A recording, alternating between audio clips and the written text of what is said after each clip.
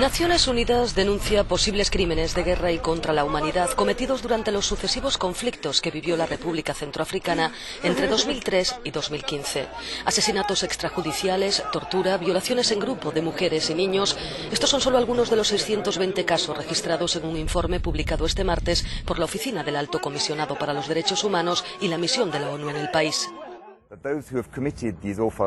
Estoy seguro de que algunas de las personas que cometieron esos terribles actos durante aquel periodo siguen haciéndolo hoy en día, pero nosotros seguimos registrando todo lo que ocurre porque muchas cosas no forman parte del informe, por ello vigilamos muy de cerca a esas personas y registramos lo que hacen.